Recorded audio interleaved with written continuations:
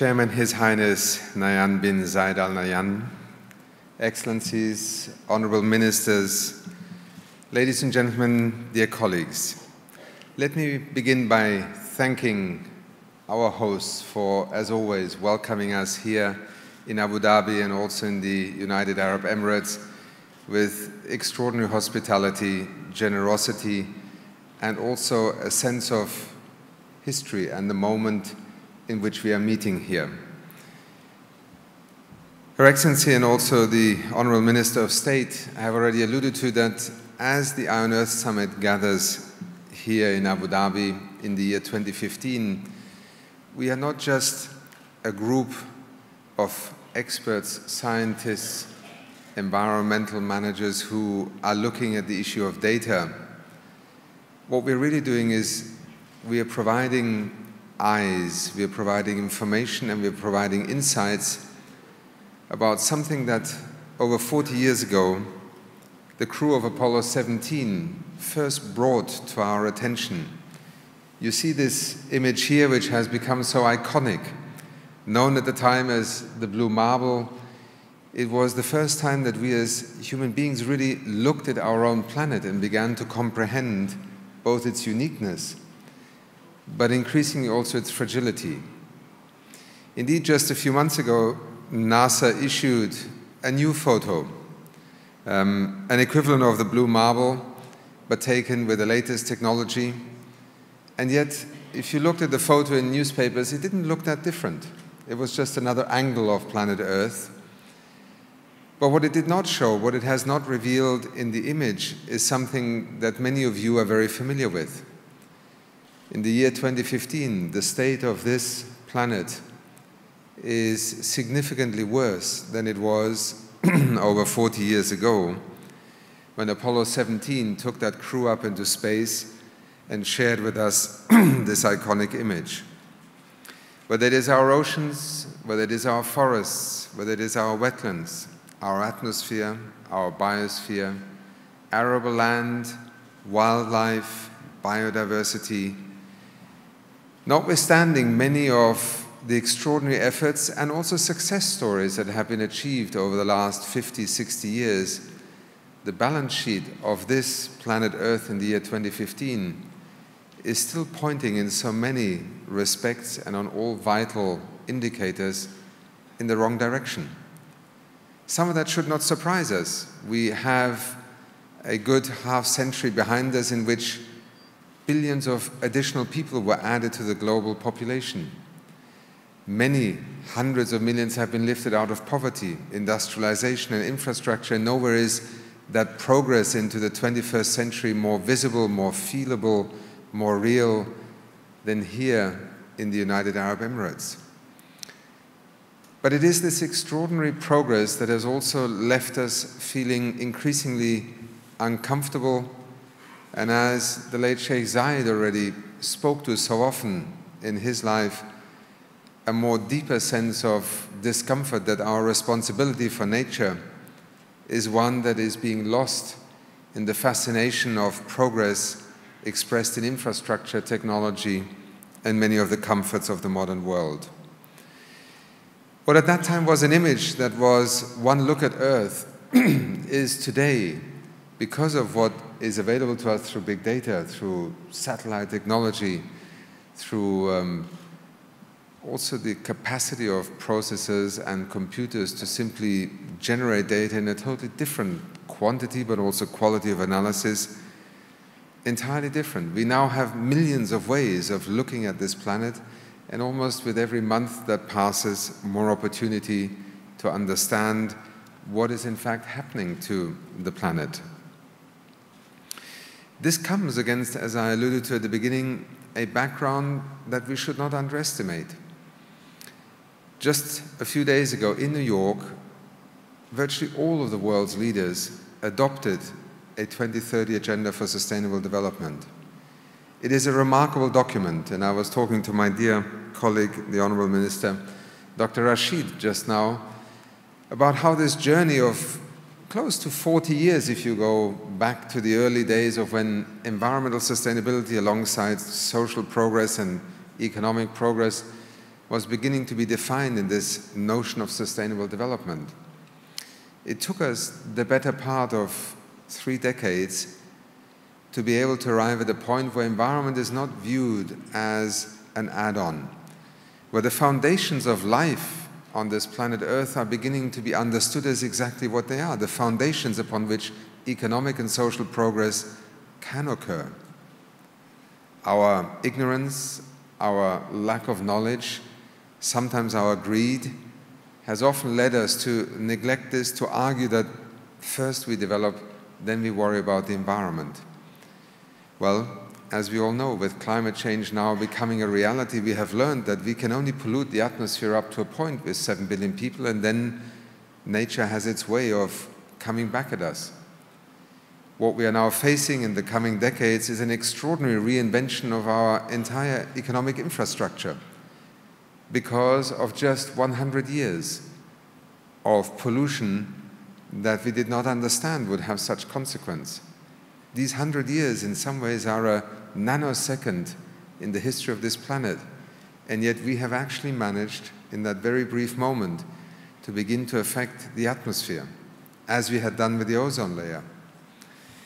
Our ability to comprehend that this new sustainable development agenda is not just a set of 17 sustainable development goals, important as they are in their own right. They represent a commitment for the first time by all nations on this planet to work in the same direction. These are universal goals. This is no longer sustainable development aimed only at developing economies and societies. No, it also speaks to the wealthier, more industrialized, and developed nations on this planet. And they are integrated throughout these sustainable development goals, almost like the DNA of human beings runs now the social, the economic, and the environmental dimension. It is for this reason alone that this Eye on Earth Summit here in 2015 in Abu Dhabi comes at a very critical moment because right now the world is now looking to you, some of the world's leading experts and practitioners, at the interface between science, data, and policy, but also with respect to practitioners who have developed responses and solutions from the ground up, who, in order to be able to turn them into policy and into a changed approach to development, need big data. We live in an age that is often now described as the age of big data, and I think through the eyes of AGEDI, we have begun to bring a universe of environmental knowledge and expertise into a very close knit relationship with that emerging potential of using data.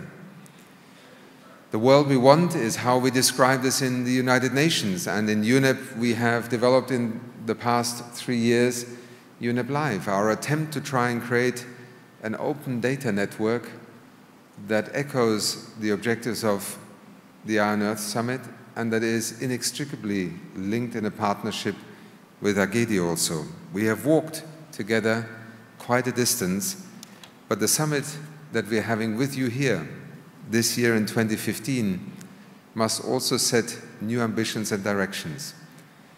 The world is impatient the world is also increasingly frustrated because we cannot only describe problems in the abstract and then expect societies and economies, be they ministers of finance or industry or energy, to somehow come up with the answers. Data management is becoming crucial to be able to develop systemic solutions and approaches because we live and operate in ecosystems, but also in economic systems and social systems our ability to also take advantage of data in being able to take global approaches. Many of the environmental change phenomena of the 21st century are local in their impact, but global in their nature and often global in their solutions also. Whether it is climate change, loss of biodiversity, what is happening in our oceans, the link also to food security, to energy security, and again, I want to pay tribute, particularly also to the United Arab Emirates and Abu Dhabi, in having become one of the pioneers in promoting renewable energy, not only in hosting IRENA, having Masdar here, but also in investing in developing economies in making this technology accessible. We cannot talk about a world of soon 10 billion people without answering the question of how will we be able to make a transition to a low carbon energy economy without new technologies being, able, being made available. Not least to a continent such as the one which hosts the United Nations Environment Programme's headquarters, Africa. As many of you know, we have been established for over 40 years in Nairobi, Kenya, and this is a continent that now has 1 billion people, by 2050 probably 2 billion people, and yet in this year, 2015, 700 million of Africa's citizens do not even have access to electricity. Talking about environmental sustainability without addressing this dimension of economic progress and also the equity and justice dimension would be a recipe for disaster. Big data, whether it is the One Web trying to complete global connectivity, whether it is Wikipedia Zero in partnering with phone providers to provide access with no data charges and text only, whether it is Facebook Zero, which has helped to connect Africa with a text-only version on the site, or whether it is also sometimes bringing different universes together. The Zayed Future Energy Prize a few months ago rewarded and awarded the prize to M-KOPA, a new scheme in which a cell phone network in Kenya joined forces with a solar energy provider, creating a new market and system for pay-as-you-go purchasing of solar electricity in off-grid, decentralized rural villages. It is these kinds of schemes that connect the world of data with practical solutions that will guide us into the future. UNEP continues to work on this frontier because we ourselves feel challenged, but we do so with great pride also in the alliance that has been part of the Abu Dhabi Global Environmental Data Initiative. I want to pay tribute to this alliance, to the core partners, to the initiatives that have also been launched and implemented over the past few years. And I want to pay tribute also to Her Excellency Razan Khalifa Al Mubarak. Her vision, her leadership, her persistence, and that of her team have brought us together. I hope that as we leave Abu Dhabi this year and this Eye on Earth Summit, we may be also inspired by somebody who will speak to you over the coming few days. Mae Jemison, who was lucky enough to see that view from that vantage point some years ago, had a great saying. The best way to make dreams come true is to wake up.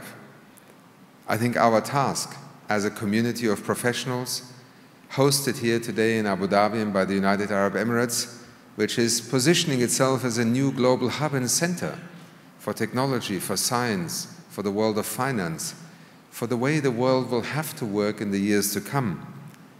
Our task is indeed one of convening, converging, and collaborating. Because without leadership, particularly from those able to draw on the resources available to them today, we will not be able to find answers to hopefully make that photograph in another 40 years' time tell a story of truly having turned around a pathway towards sustainable development. Thank you very much.